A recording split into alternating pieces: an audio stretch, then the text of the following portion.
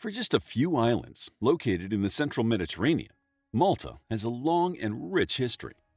Let's take a look at the world's most interesting archipelago. Malta is a relatively small group of islands. Since it is in a strategically important location, it has played a significant role in the Mediterranean. Through its history, different powers always tried to take over the archipelago. The modern country of Malta consists of five islands. The largest island is called Malta, and to differentiate it from the country, it is often known as Malta Island. Then there is Comino and Gozo. Completing the set are the uninhabited islands of Kemmunett and Filfla. Malta is located about 58 miles south of Sicily, 180 miles north of Libya, and 180 miles east of Tunisia. The geographical proximity to all these countries probably emphasizes the area's strategic importance. People have tried to use these islands as a naval base throughout history, since it gives easy access to Europe, Africa, and the Middle East. While it might seem like a nice position to be in, history proves otherwise. The islands have seen the rule of Phoenicians, Carthaginians, Romans, Greeks, Arabs, Normans, Aragonese, Knights of the St. John, French, British, and others. This diverse ruling history has left an indelible cultural mark on the culture of Malta. Today, Malta is the world's 10th smallest country, occupying an area of just 122 square miles and home to a population of around 525,000. However, in the distant past, things were quite different. For one, the archipelago wasn't always an archipelago. Malta stands on an underwater ridge that connects Sicily to northern Africa. This entire ridge served as a dry land bridge between Europe and Africa in the latter part of the Miocene epoch. For a long time, it was believed that the archipelago's first inhabitants dated back to 5700 BCE. Now we know with relative certainty that the first inhabitants arrived sometime around 5900 BCE. Similarly, another misconception was that these people were Sicilians. After analyzing the DNA of archaeological artifacts, we know that both Europeans and Africans existed in this part of the world.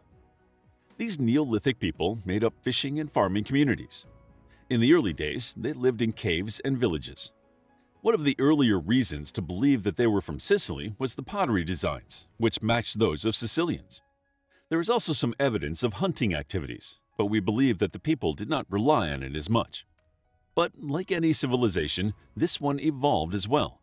As these people came into contact with other cultures, their pottery designs began to change. Anyhow, the people continued farming until the land gave in. The soil could no longer sustain agriculture, and the land saw a prolonged period of drought. For the following millennium, the islands were abandoned. Life returned sometime around 3900 BCE. This second wave of settlement involved a cult of the dead. The presence of such a group can be gleaned from the collective tombs cut into rocks.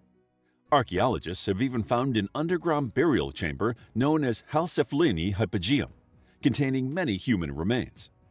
The chamber has been given the status of a World Heritage Site by UNESCO. Other constructions from this time consists of the Ggantija Temple in Gozo, one of the oldest freestanding structures in the world.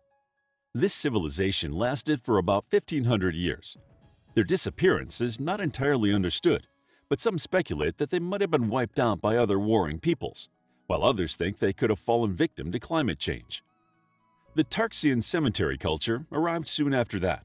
In around 2500 BCE, the Borg in-Nadur people settled in the region. Around the 8th century BCE, the Phoenicians began to make contact with the islands. There is some evidence of their presence as an urban culture. The presence of Phoenician tombs indicates a healthy population that probably used the site to expand their seafaring ambitions. Some existing temples were converted into Phoenician structures. They would have used the area as an essential outpost in their Mediterranean trade routes. A settlement was present in the present-day cities of Medina and Rabat, which the Phoenicians called Maleth, or Safe Haven. There is more robust evidence of Carthaginian presence.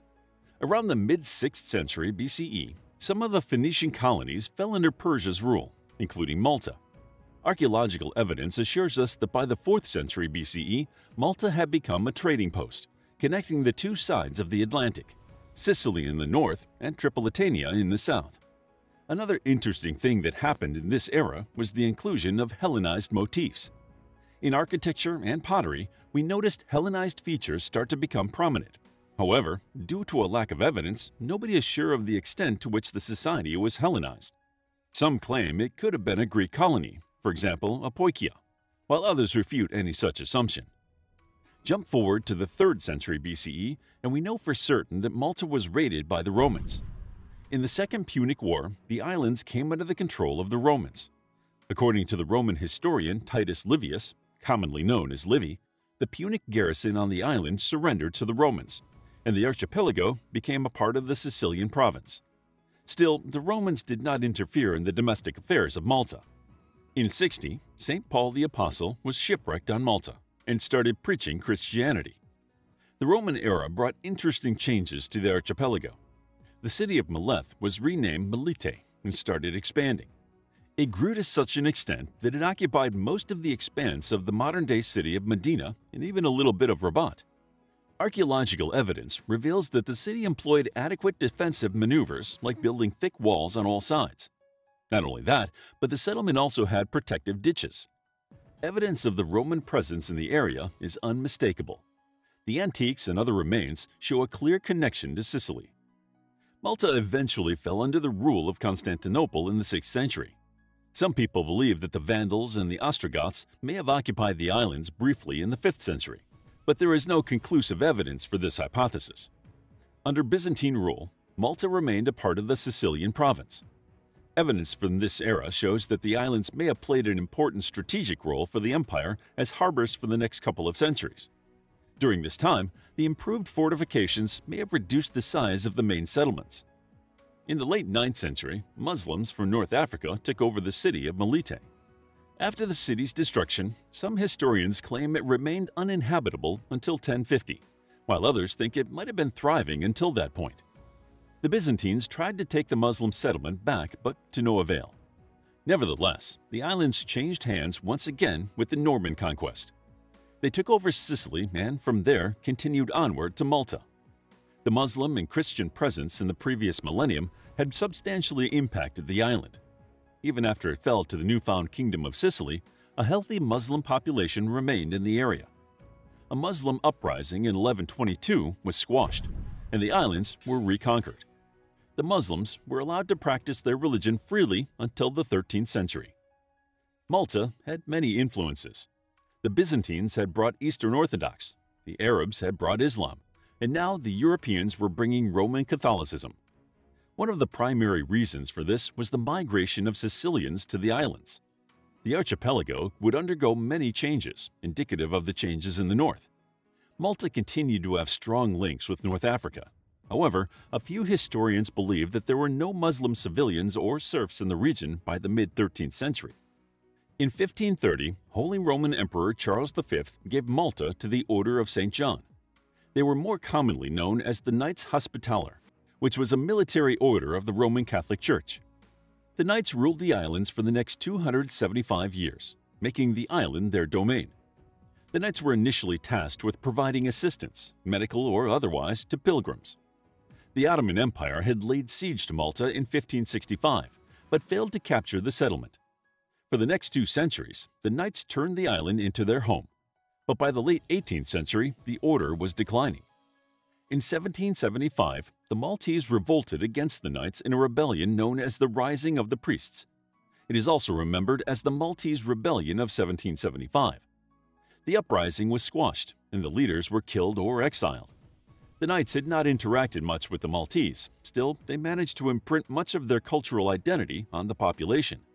However, the Knights' declining prowess meant that they could not rule the archipelago for much longer, and so, in 1798, Napoleon took over the islands. Still, the French presence on Malta was short-lived, as the British took it over by 1800. Two years later, the French signed the Treaty of Amiens with the British, in which the British were supposed to leave the island. The British failed to adhere to the treaty. The Maltese demands for self-rule were not heeded, as the Maltese harbors were an essential strategic asset for the British. The Maltese were refused home rule, and until the 20th century, the island's political status underwent several changes. During the Crimean War, the economic condition of the islands improved, but after the opening of the Suez Canal in 1869, they retracted. In 1921, the Maltese were given the right to self-govern under British rule. The British retained the right to control foreign and military issues while the local government handled domestic affairs. In 1933, tensions flared again as the archipelago returned to a strict colonial regime. During the Second World War, the Axis powers bombed the island, but the locals did not surrender. The British acknowledged the bravery of the local people. In 1947, Malta was given the right to self-govern again. It was revoked in 1959 and then restored in 1962. The islands received their official independence on September 21, 1964. On December 13, 1974, Malta became a republic. The rule of the Nationalist Party from 1962 to 1971 was an era of alignment with the West. In contrast, the rule of the Malta Labour Party emphasized the sovereignty of the country, leading to the complete withdrawal of British rule by 1979. The Nationalist Party retook the reins in the 1990s and applied for inclusion in the European Union. In 2004, Malta became a member of the EU after a referendum. Today, Malta is the fourth most densely populated sovereign country globally, despite being the 10th smallest by area. Its capital, Valletta, is the smallest capital in the European Union by area and population. Today, Malta is a great tourist destination. Its warm climate and recreational outlook on life offer an excellent resort for tourists. Several architectural and historical monuments provide a window into the country's rich history. We hope you enjoyed this video on the history of Malta. If you did, please hit the like button and subscribe for more videos like this. Also, grab your free Mythology Bundle ebook while it's still available. The link is in the description.